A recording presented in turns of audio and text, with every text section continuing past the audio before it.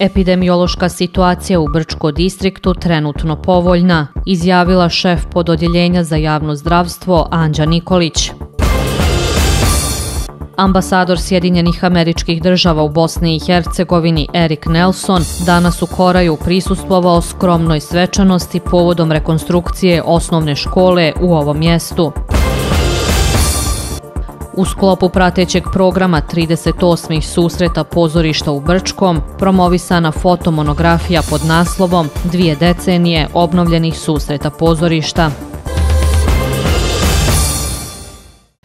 Dobroveče poštovani gledaoci, pratite objektiv. Šef pododjeljenja za javno zdravstvo distrikta Anđa Nikolić ocijenila je trenutnu epidemiološku situaciju u Brčkom umjereno povoljnom, ali apelovala na građane da se vakcinišu. Ona je napomenula da svi koji su kompletno vakcinisani više ne moraju da ostaju u izolaciji ukoliko im se inficira član porodice, ali da su dužni da poštuju propisane epidemiološke mjere distance i nošenja maske. Krizni štab zdravstva koji prati epidemiološku situaciju u Brčkoj distriktu za sada neće predlagati restriktivnije mjere na prevenciji COVID-19. Šef pododeljenja za javno zdravstvo u Brčkom, Anđa Nikolić, kaže da trenutna situacija je povoljna. Ona je istakla da u proteklih mjesec dana imamo u prosjeku 30 novo zaraženih ljudi dnevno, a da je današnji podatak sa 64 inficirana zapravo odraz situacije preko vikenda, pošto subotom i nedeljom PCR laboratorija ne radi. I svi uzorci koji su uzeti preko vikenda, znači urade se ponedeljkom, odnosno objave se utorkom ti rezultati, tako da su oni znatno viši od prosječnih. Što se epidemiološke situacije u posljednjih mjesec dana tiče, ona je stabilna, kaže doktorka Nikolić. U nekih prvih 15 dana smo imali blagi porast. Zatim smo imali jednu zaravnjenu liniju i mogla bih reći e, da posljednju sedmicu imamo vrlo blagi pad. Nije to nešto drastično da možemo reći sad je to pad. Ako smo imali e, cijel mjesec imamo u prosjeku 30 novoinficiranih dnevno, sad ih imamo u posljednjoj sedmici 28 u prosjeku dnevno. Znači to je vrlo, vrlo blagi pad. Među novozaraženim kategorijama najviše ljudi između 30 i 50 godina starosti, koji su svakako i radno najaktivniji, pa su time i najviše u međusobnom kontaktu. Što se tiče teže kliničke slike eh, pacijenata koji su na respiratoru i gdje se završava letalnim ishodom, to su mahom nevakcinisani pacijenti. E, na ovaj način ja želim da pozovem sve ljude, sve građane Brčko distrikta da koji se nisu vakcinisali, da se vakcinišu, da se zaštite i sebe i e, ljude oko sebe. Anđa Nikolić je napomenula da svi građani koji su kompletno vakcinisani više ne moraju da ostaju u izolaciji ukoliko im se inficira član porodice, ali da su dužni da pošluju propisane epidemijske mjere. Što znači da sa osobom koja je u njegovom domaćinstvu ne treba da ostvaruje kontakt, ta osoba zapravo treba da bude u neku zasebnu sobu izolovana, moraju da nose masku, moraju da drže distancu, ali ne moraju ići u izolaciju. I osobe koje su preležale COVID u poslednjih šest mjeseci isto tako ne idu u izolaciju, ali moraju se pridržavati svih ovih epidemioloških mjera. U pododjeljenju za javno zdravstvo napominju da je u toku vakcinacija sa trećom vakcinom, takozvanom booster dozom, koju primaju prije svega rizične kategorije, a to su lica starija od 65 godina, hronični pacijenti i zdravstveni radnici. Šta znači booster doza? Znači da se dobija polovina doze one standardne. Ako je standardna doza 0,5, onda je ovo 0,25. Znači pola od doze pune. To je ta treća doza kojom se, znači kojom produžavamo da organizam zaštit, zaštitu organizma od covid -a. I e, ako neko ima još neku izraženo, e, ne znam, da želi da, da primi tu treću dozu, bez obzira što nije u rizičnoj grupi, mi ne pravimo problem, vakcina ima, tako da mogu da prime i tu treću dozu. Što se tiče nedoumica oko toga za koju treću vakcinu se opredijeliti, preporuka kriznog štaba je da se primi ista kojom je lice prethodno vakcinisano. Izuzetak je jedino Sputnik V vakcina, kod koje se razlikuje prva doza od druge, tako da se u tom slučaju prima booster doza, odnosno polovina ponovo one prve. U Koraju kod Lopara danas je upriličano svečano otkrivanje ploče povodom rekonstrukcije školske zgrade osnovne škole Dosite Obradović, koja se nalazi u ovom mjestu. Gost skromne svečanosti bio je američki ambasador u Bosni i Hercegovini Erik Nelson, jer je ova zemlja donirala sredstva za rekonstrukciju. Skromnom svečanošću u Koraju ozvaničena je predaja na upotrebu renovirane osnovne škole Dositej Obradović učenicima i nastavnicima, a veo sa službene ploče na ulasku u zgradu skinuo je američki ambasador u Bosni i Hercegovini Erik Nelson. Razlog Sjedinjene američke države obezbijedile su glavninu novca za rekonstrukciju objekta iz programa pomoći Evropske komande oružanih snaga Sjedinjenih američkih država obezbijeđeno je 430.000 konvertibilnih maraka. Za taj novac urađeno je mnogo korisnih stvari, ističu u menadžmentu ove osnovne škole. Zamijenjena je stolarija, unutrašnja i vanjska, termoizolacijana fasada, Time, e, to je u mnogome doprinjelo e, povećanju energetske efikasnosti, čak do 30% po trenutnim rezultatima. E, naravno, to će da se najviše odrazi na smanjenje troškova za kupovinu ogreva u budućem periodu i naravno povećat će, daleko će biti bolji ekološki uslovi samim tim što se manje loži i bit će manje zagađivanje.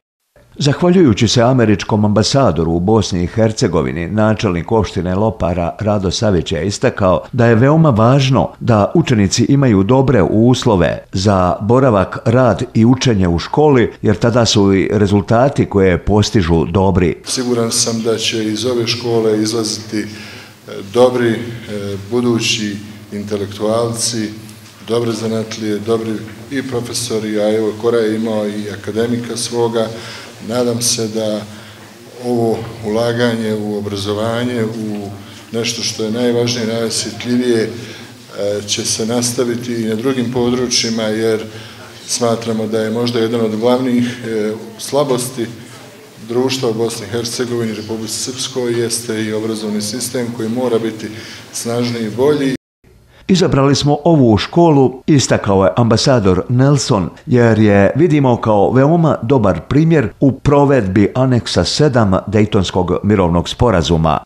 A to znači, provedba tog aneksa znači povratak ljudi njihovim domovima i izgradnja novog života. Također mi je zadovoljstvo što sam se ponovo sa načelnikom Savićem, koji je sa svojim kolegama uh, oformio uh, radnu grupu, interesnu radnu grupu između opština Majevica. Majevica, ovo područje, Majevičko područje, jedno od najljepših područja u Bosni i Hercegovini. Jako je lijepo vidjeti da načelnici opština e, preko međuentitetske linije razgraničenja sarađuju i rade na tome da za građane grade bolji život. Osnovna škola Dosita i Obradović u Koraju jedna je od ukupno tri matične vaspitno-obrazovne ustanove na području opštine Lopare sa više područnih odjeljenja u selima centralnog dijela ove lokalne zajednice. Škola u Koraju otvorena je 1882. godine, što govori o njenoj podugačkoj tradiciji, ali i činjenici da su iz klupa ove obrazovne ustanove na daljne školovanje kretali kadrovi koji su kasnije preuzimali odgovornost za razvoj ovog kraja, cijele opštine, a mnogi školovani ljudi ovog područja postali su poznati stručnjaci i uticajne ličnosti u najvećim gradovima regiona i znatno šire. Vodotoranj smješten u centru Bijeljine, nekada detalj sa razglednica, već decenijama je simbol grada. Zato gradska uprava ozbiljno razmišlja o njegovom renoviranju. Već je raspisan konkurs za izbor najboljeg arhitektonskog rešenja za adaptaciju i rekonstrukciju ovog objekta, za što je predviđena i nagrada u iznosu od 2500 konvertibilnih maraka. Bijenski vodotoranj, zaštitni znak grada, trenutno je u veoma lošem stanju i narušava izgled strogog centra. Zbog toga je gradska uprava u Bijeljini raspisala javni poziv za dostavljanje idejnog rešenja za arhitektonsko uređenje, rekonstrukciju i adaptaciju ovog objekta. Namjera je da se prikupi što više ideja od građana i stručnjaka iz te oblasti. Probali smo to da postavimo što šire kako bi različite ideje nam ovaj, pristigle. Znači, to su različite mogućnosti od galerijskog, izložbenog, gostajskog prostora s vidikovcem. Vidjet ćemo šta će struka reći u ovom slučaju. Gradska uprava raspisala je konkurs za izradu urbanističko-arhitektonskog idejnog rešenja za adaptaciju i rekonstrukciju funkcionalnog objekta vodotornja. Konkursom su predviđene nagrade. Za prvoplasirani rade 2500 maraka, za drugoplasirani 1500, a treća nagrada iznosi 1000 maraka. E, mogu znači diplomirane arhitekte, pejzažne arhitekte, građevinci, i e, čak i studenti završne godine, tako da u tom slučaju znači vrlo širok opseg ljudi može da se prijavi. E, rok za prijavu je 27.12. do 12.30 časova i tu su propisane također neke nagrade. Osim vodotornja, planirana je i modernizacija dijela grada u kojem se nalazi vodotoranj. To je praktično bijeljinsko šetalište. Sljedeći dio koji planiramo na objekat vodotornja to je e, adaptacija i uređenje šetališta koje je u neposrednoj vezi, koje će ići otprilike uporedo kada dobijemo idejno rješenje za vodotoranj. Planiramo izradu projekta na osnovu idejnog rješenja kao i projekta adaptacije i uređenja šetališta. U gradskoj upravi u Bijeljini kažu da je još uvijek rano govoriti o iznosu koji je neophodan za adaptaciju i rekonstrukciju vodotornja, ali i o izvoru njegovog finansiranja. Za sada se samo radi na urbanističko-arhitektonskom idejnom rešenju za ovaj objekat. Korparstvo na području opštine Šamac polako izumire. Prije 30 godina plantaža industrijske vrbe na području opštine rasprostirale su se na oko 200 hektara, sada na svega 20 Oni koji vrbo proizvode koriste kao sirovinu za izradu upotrebnih i ukrasnih predmeta u poznim su godinama, dok mlade generacije za ovaj posao nisu zainteresovane. Proizvodnja ukrasnih i upotrebnih predmeta od šibe nekada je bio porodični biznis od kojeg se moglo dobro živjeti. To nam je rekao Nikola Nestorović koji je prije pola vijeka naučio da su mu za pletenje potrebne vješte ruke i malo alata. Kaže da sve što ima gradio je i pravio zahvaljujući tom poslu. Prije je bilo u svakom gradu po jedna korpara. Gradatac, Miloševac, Oraše, Šamac i mi su koliko god smo mogli isplešti oni su to odvezli. Nikada nije bilo da ovaj e, nešto ne imaš da radiš. Uvijek oni obezbede šta ćeš da radiš. I bile su ovaj tamo iza nas velike plantaže šibe što su prskala avionima i bi e, kombinat poljoprivredni e, proizvodio i to je otkupljivala korpara i nama davala. Tako je bilo do početka proteglog rata. Bilo je i proizvođača i otkupljivača po solidnim cijenama. Nikola sada po naručbi uglavnom plete namješta i flaše. Kao problem ističe godine, jer iako bi htio, više ne može raditi kao ranije, ali to što za sada nema nasljednike koji bi nastavili tradiciju. Žao mu jeste, ali razumije. Nema zato što mi ovaj sin, što je profesor, on više voli poljoprivredu. I on to sad hoće da radi zemlju za sije kukuruze, pšenicu i to. Nekako nema volje za korparstvom. Snaje, one opet imaju potroje djece i dok on to nemaju kada to one. E, tak je to da je ostalo još u ovoj našoj avli da ja radim iz čistog hobija koliko mogu i kako mogu. Na drugom kraju sela plantažu vrbe na jednom hektaru ima 57-godišnji Goran Čeliković. Podršku mu pružaju supruga i čerka koje su također vrsni majstori u proizvodnji predmeta od šibe.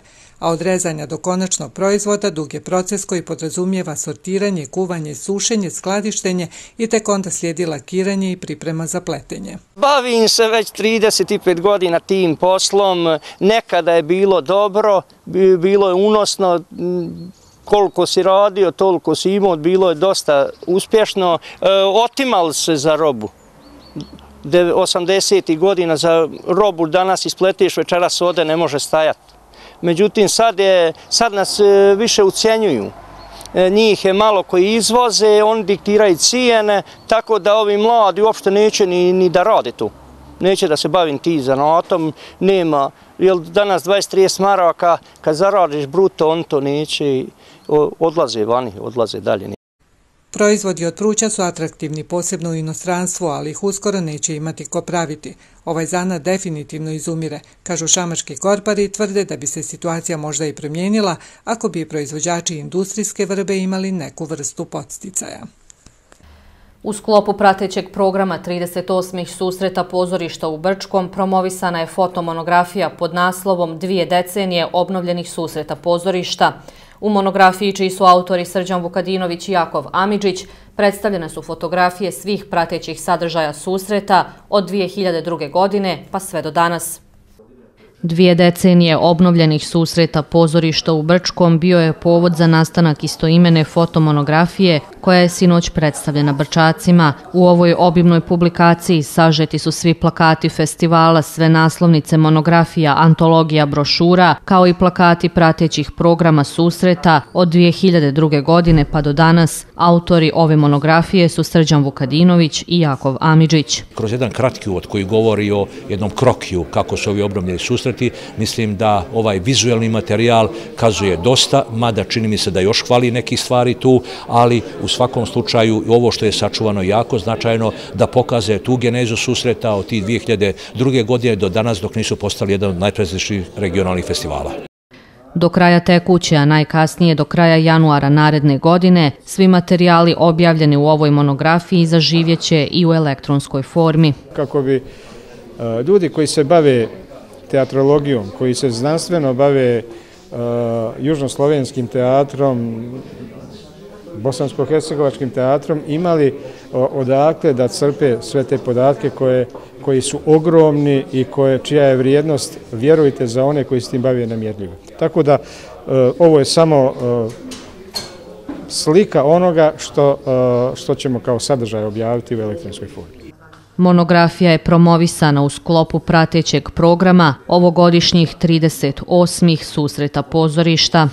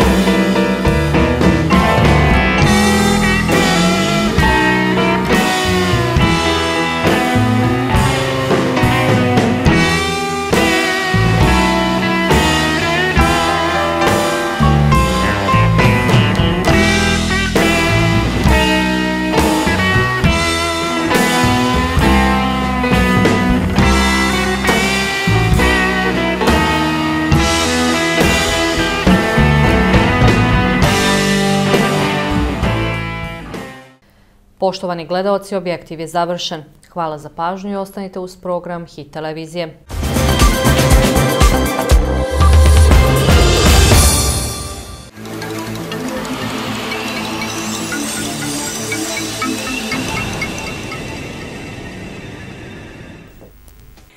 Dobroveče, poštovani gledaoci. Danas je u našim predjelima uglavnom bilo oblačno i dosta svježije vrijeme sa kišom u sjevernim krajevima i temperaturom vazduha u najtoplijem dijelu dana između 4 i 9, a na jugu do proljećnih 15 stepeni Celizijusovih. Jutro je osvanulo oblačno i svježije, mjestimično sa slabom kišom, uglavnom u centralnom pojasu i na sjeveru, koja je do podneva i prestala. Poslje podne zadržalo se uglavnom oblačno vrijeme u centralnom planinskom pojasu, gdje do kraja današnjeg dana može postojati uslovi za slabu kratkotrajnu kišu ili rosulju, koja će u višim predjelima formirati maglu. U ostalim predjelima uglavnom je došlo do postepenog smanjenja oblačnosti, koje je počelo prvo na sjeveroistoku i sjeveru, te na jugu gdje je bilo više sunčanih perioda. Duvao je uglavnom slab sjeverni i sjeveroistočni vjetar. U Hercegovini slaba do umjerena bura. Do kraja današnjeg dana naročito izražene tegobe mogu imati svi astmatičari, reumatičari i cerebrovaskularni bolesnici. Mogući su glavobolja, promjenjivo raspoloženje i pospanost. Evo i prognoze vremena za sutrašnji dan.